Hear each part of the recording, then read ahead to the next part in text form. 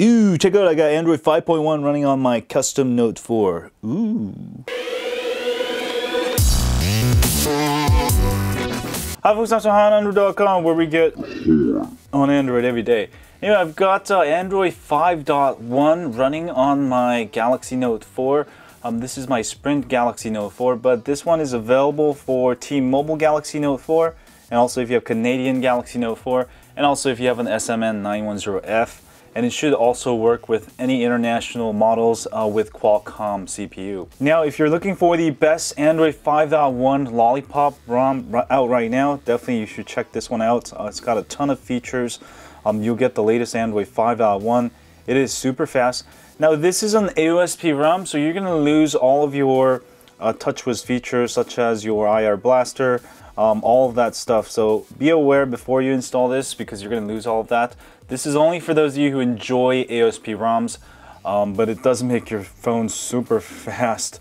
It is it's like really, really fast. I've actually ran Antutu on it. Uh, it. This should show you my last score. I think I got almost 52,000 um, just take my word for it. Um, you get about 52,000. All right, also it comes with Super SU built in, so you don't have to do anything to root it or anything like that. Let me go ahead and show you some of the core features of this. Now, one thing to note, the camera is broke. Ooh, yeah, that's gonna be a deal breaker for some of you. But if it does come with open camera, which works just fine. Um, now, one note about this, everything works except for 4K. 4K actually works, but you get this weird uh, recording.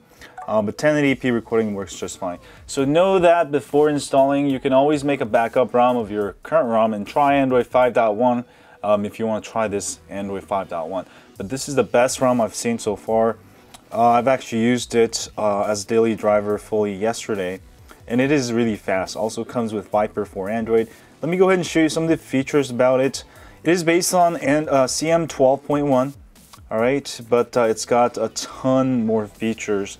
Um, so if you go to CM Remix here you can go ahead and uh, customize your status bar. Um, put your clock in the center if you want to. And battery status style you can go ahead and change that. Uh, network traffic you can also go ahead and enable that.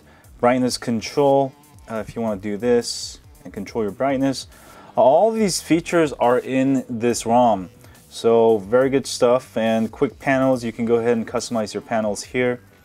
Um, some things that's different than the regular CM, you can go ahead and also enable four tiles and also you can make everything smaller. So you can fit more uh, quick setting tiles there. So very good detailed Wi-Fi view. Um, there is also advanced location settings, sort of Android 5.1. Um, so if you press that, it will actually show you can quickly go access your battery saving device only. Um, you can set it to whatever very quickly. So very nice little little customizations. That's going to help you uh, become more efficient. Um, sounds, you can Viper for Android. You can go ahead and use that.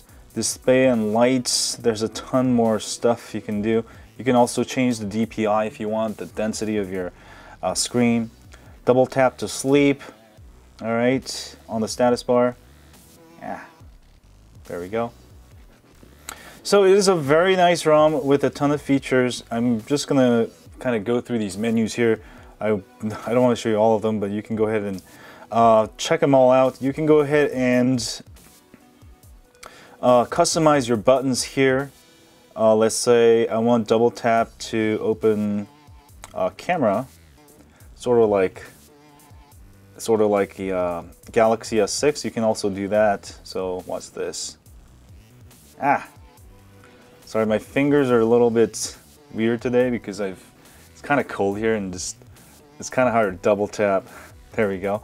So that's really cool. You can go ahead and add double tap to camera, just like a Note uh, Galaxy S6. Sorry. All right, those are buttons. You can go ahead and um, do all of those. Now on top of that, you get tweaks. Um, yeah, that's right. You can get app circle bar. This is one of my favorites. And you can go ahead and adjust the trigger width here. Um, add more shortcuts there. And also there is app sidebar. This is sort of similar, but it's kind of, it's kind of like, makes it like a PC sort of, and you can add your sh shortcuts here. Ah. Um, not sure why it's not working. Let me actually go ahead and add some apps. It might be because I don't have any apps in here. And boom shakalaka. Let's go ahead and save. And ah, there we go. Um, you'll be able to access your shortcuts. You can also go ahead and change the height so it won't trigger uh, when you are using the keyboard. Ah, there we go. All right, you may have to fiddle with it, just get, get it right the way you want to. Ad blocker, smart control. This one's sort of similar to the Samsung feature. Um, you can go ahead and lift the phone to your ear uh, in the dialer and it will call directly. So very good ROM, but it is like super fast. Switching between apps is so much faster than TouchWiz. So uh, it is a fun ROM. I mean, it's gonna get you on the latest Android 5.1 Again, it's actually nearly flawless, everything working except for the stock camera. You can go ahead and use open camera. 4K doesn't work um, correctly. And other than that, it's a very nice ROM. You can go ahead and install it. So definitely check it out. If you want to turn your Note 4 into like a Nexus device, this is the ultimate way to go. And also going to make you uh, make your performance like super fast. And battery life should be very good also. But do check it out for this week's ROM of the Week, and I know some of you liked it when I posted this on Twitter the other day. Um, so if you have a Note 4 uh, with a Qualcomm chip, not AT&T or Verizon, well, they, they can't even install ROMs.